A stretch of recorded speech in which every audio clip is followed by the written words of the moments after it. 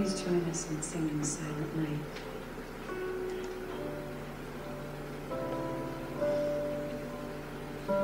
So